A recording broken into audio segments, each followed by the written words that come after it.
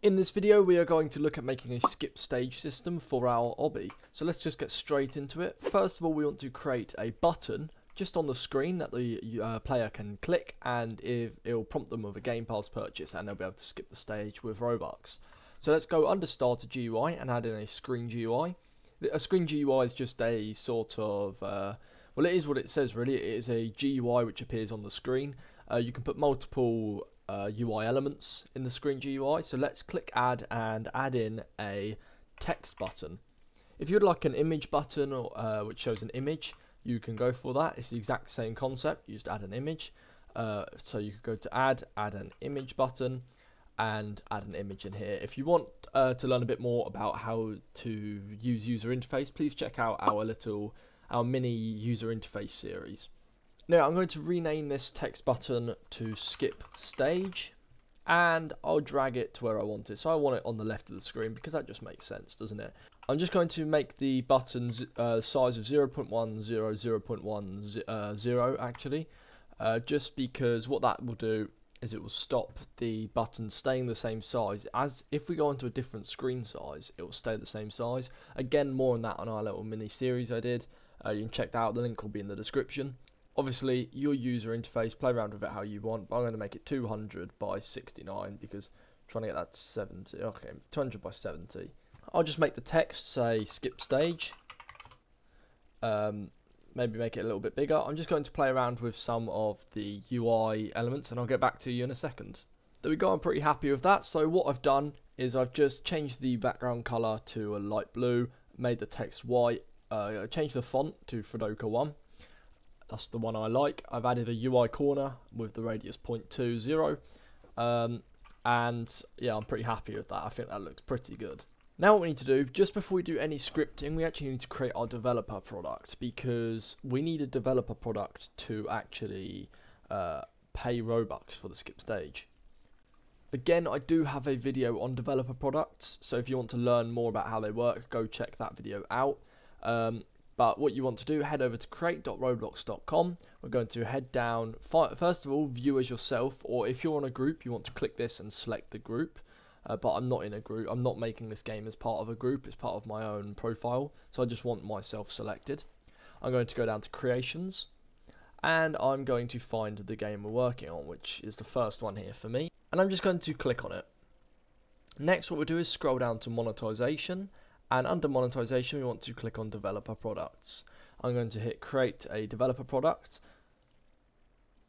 And in here we can upload an image if we'd like. Oh, I'm not going to give it an image because I don't have one on hand. And I'll just call it uh, skip stage. You can give it a description if you want. Again, I'm not going to do that. I'm going to make it 15 Robux. I think that's pretty reasonable for a skip stage. And I'm going to hit create developer product. Now that we've actually got the skip stage uh, product amongst all the other uh, products I've made over the uh, over the course of the YouTube channel, uh, we can hit the three dots and hit copy asset ID. It, you should get a message that prompts asset ID has been copied successfully.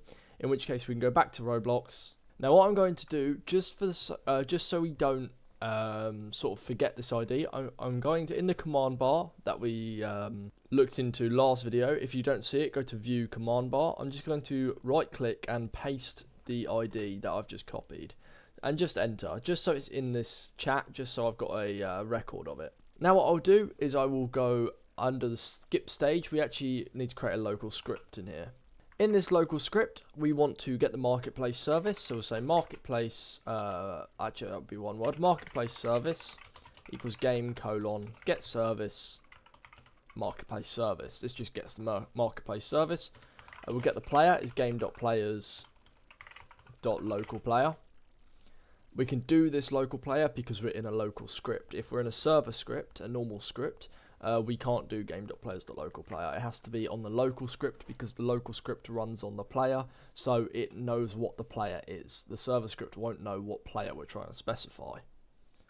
Next, we're going to get our product ID, uh, which we've pasted into the command bar. If you don't have it copied anymore, just go back into your output because we put it in the command bar. We can double click it and copy it again.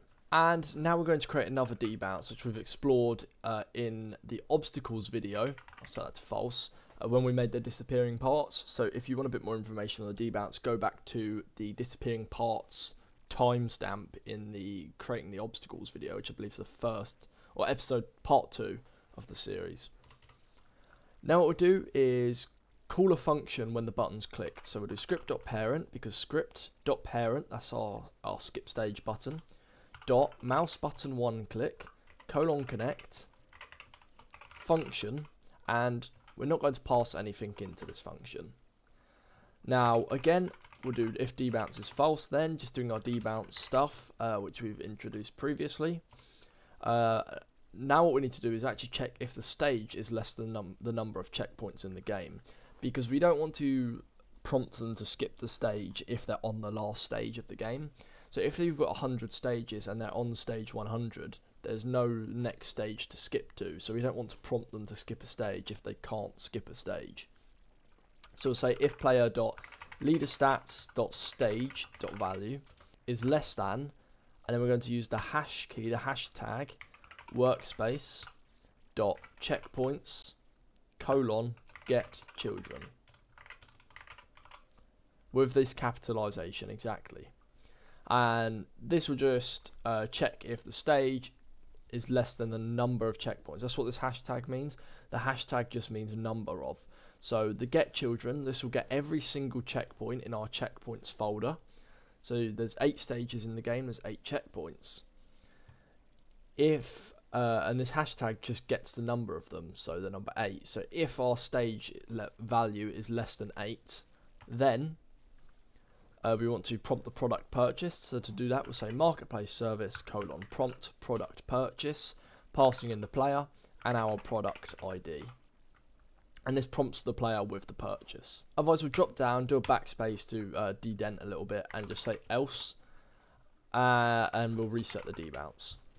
Now, we're not going to reset the debounce after we've prompted the product purchase because this means they could, um, well, it, it opens the possibility if they're computer's fast enough to spam the spam click the buy button while it's processing and it might skip more than one stage at a time which we don't want. So we only want to reset the debounce once the product has finished being purchased. And to do that we'll say marketplace service underneath this whole thing. We're going to call another function dot prompt product purchase finished colon connect function and in here a few arguments are automatically passed in. So as a parameter we want to add the player ID, the product ID, and uh, and is purchased. It doesn't have to be called all this exactly. I'm going to name it is purchased. It's just a boolean state which tells us whether or not the product has been purchased. It doesn't matter to us whether or not it has. Um, all that matters is that the product has been finished. So whether it's been cancelled or has it been purchased, it doesn't matter because we just want to reset the debounce. So say db equals false. And this just resets the debounce. We just have to pass these in because they're automatically passed in as arguments, so we have to have them as parameters. Now we can close the local script and we can actually test this. If we hit play, uh, it won't do anything yet, but if we hit skip stage, it will prompt us with our game pass. It should say buy skip stage because that's what we've called it. Uh, 15 Robux, the amount of Robux I set. It doesn't do anything, but we can purchase it. Um, it doesn't reset our debounce either, and the reason for that is because we haven't returned any state as to whether or not the marketplace service, the product has been finished purchasing or not. We have to do that in a server script, which we're going to do next. Now, in our checkpoint handler, we want to add some code to actually do something with this product. Underneath the uh, run service, we want to get the players as well, which is game colon get service, player service, uh, not player service, sorry, just players, uh, and the marketplace service, which is game colon get service, marketplace service. We also want the ID, so I'll say product ID equals and paste in our product ID. Now what we need to do is call a function when the receipt is being processed. Now to do this we'll say marketplace service dot process receipt equals function and in here we automatically the receipt info is passed in so we need receipt info as a parameter And this is a function that will be called whenever the player purchases the product. Now we need to get the player from the user ID that's been passed in as a part of the receipt info. So we'll say local player equals players colon get uh, player from, uh, get player by user ID receipt info dot player ID with capitalization exactly like this. So I want the P capitalized and I want the I capitalized. The D needs to be lowercase. It has to be like this. Now we'll just make sure the player exists. So if not player, then uh, return enum dot product purchase decision dot not processed yet. So if the player does not exist, we want to return the decision that the product has not been processed. And of course, this returning this product purchase decision, returning that, will call this function here because the product has been finished being dealt with. So this gets called when we return a product purchase decision. Now underneath this we want another if statement. Uh, we want to check if the product ID on the receipt is equal to the product ID of our product. So if receipt info dot product ID again exact same uh, capitalization uh, formula. So capital P, capital I, lowercase d equals product ID, which is the one that we've stored up here as a variable. Then we want to increment the stage value, so player.leaderstats.stage.value plus equals 1. And then we want to load the player onto the correct checkpoint. Now luckily we have a function for this that we've already created in the last video. So say underscore g dot player loaded. And we can call that passing in the player. Now under here we can return enum dot product purchase decision dot purchase granted which just returns the decision that the product was processed and the purchase was granted. And that is it, that's all we had to do. Okay, so I'm going to hit test and play and just test that everything's working. So I'll get to stage 2 myself and I'm actually thinking stage 2 is a bit difficult so I'm going to hit skip stage, it prompts us, I'm going to buy it. And as you see it actually teleports me to stage 3 and now if I die just to make sure we respawn on the right stage, yep we do, perfect. Now let's keep going I'll get to stage 4 and I'm going to test it again just because I'm not feeling too confident with these parts. Uh, it'd help if I click the right button, there we go. Uh, and stage 5. And when you're testing developer products, you are never charged in Roblox Studio. It's not actually reset our debounce there. Um, so that one's glitched out a little bit. So I'll have a look, quick look at that. But, oh no, it has, sorry, it's just taking a little while to respond. If I just click that, it looks like the Roblox, uh, it's just taking a little while for it to respond. Okay, so if we die... So it does it once. Okay, so if we click cancel... It looks like it's not working. So we skip stage. Do I click it again?